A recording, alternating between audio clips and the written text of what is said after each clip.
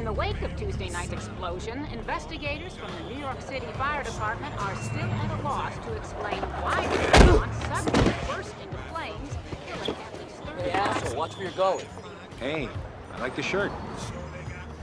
Screw you, man.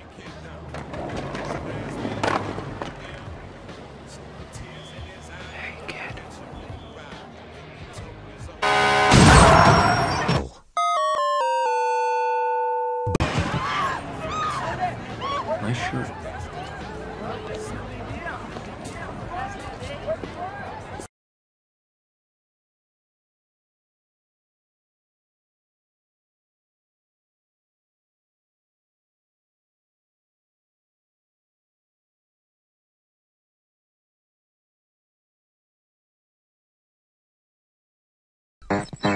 Divorce can seem like a puzzle. At Banala can be